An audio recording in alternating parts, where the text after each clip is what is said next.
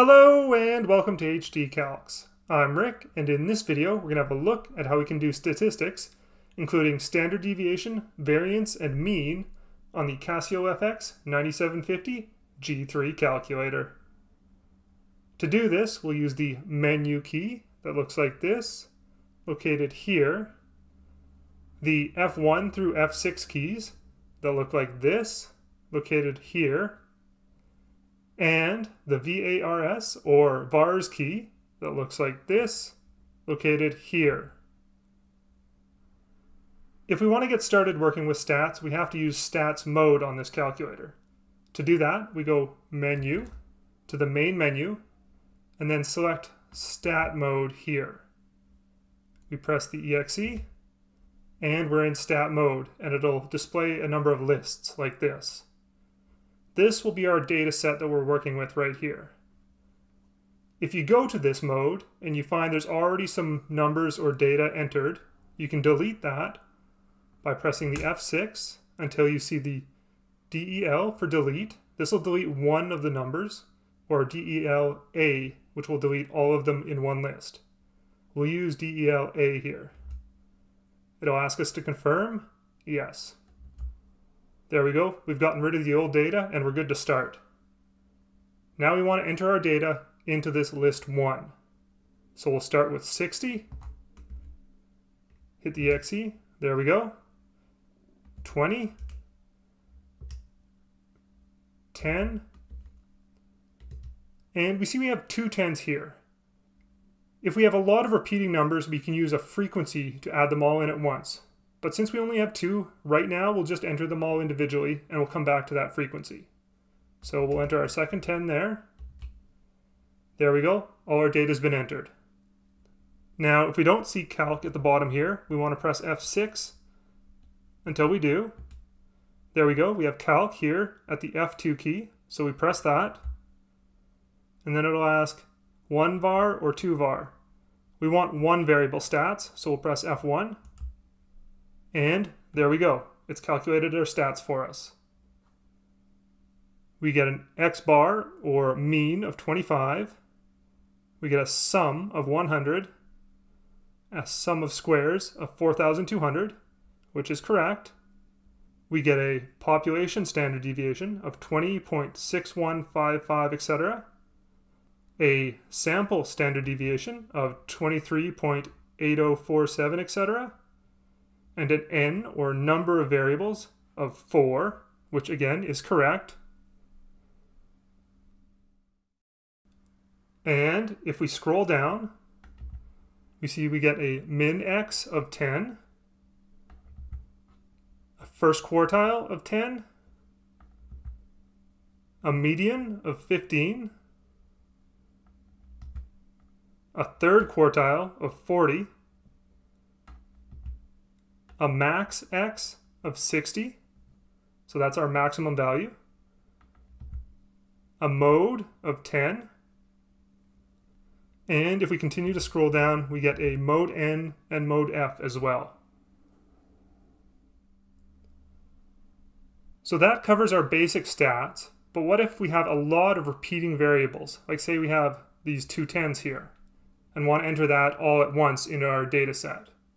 Well, if we press exit and go back to our data set here, and if we clear our data set, so we can start over, let's enter our data now using the frequency option.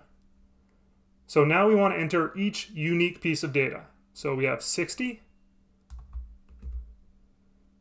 enter, 20, enter, 10, enter. And since we have another 10, but we've already entered 10 once, that's all we need to do. We've entered each unique piece of data. Now we need to enter our frequency table. So we want to scroll over to list 2. And now we want to tell our calculator how many times each number occurs. Well, we have 60 once, so we put 1 there.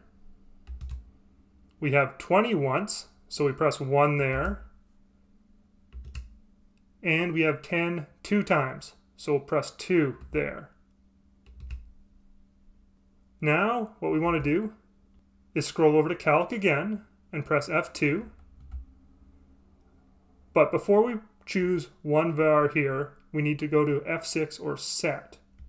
This is where we set what each of our lists mean. For our X list, we have list 1, which we don't want to touch. But if we scroll down, we see our one variable frequency is listed at 1. That means each number in list 1 occurs once. But we want to change that to our frequency. So if we press list here, F2, and it'll ask us to choose a list, we'll choose list 2, select that.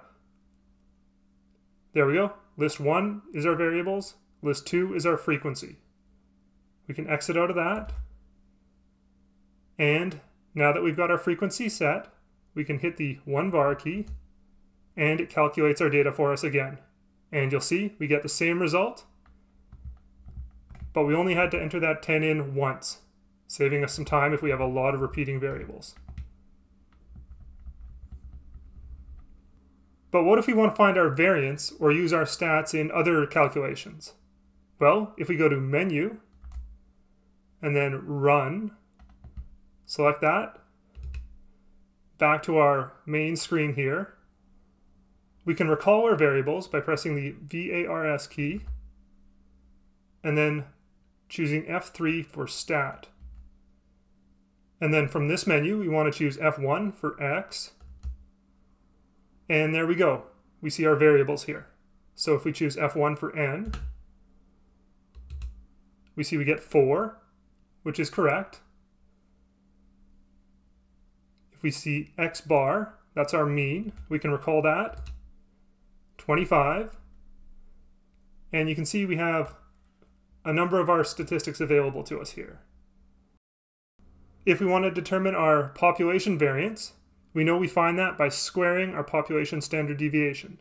So to get that, we can recall our population standard deviation here with F5, and then square it with the x squared, and hit EXE, and see we get a population variance of 425. If we scroll over with F6, we can also do the same with our sample standard deviation to find sample variance. So we choose that, square it, and press EXE. And we see we get a sample variance of 566.666, etc. All right, I hope this helps, and good luck on those tests out there, everybody.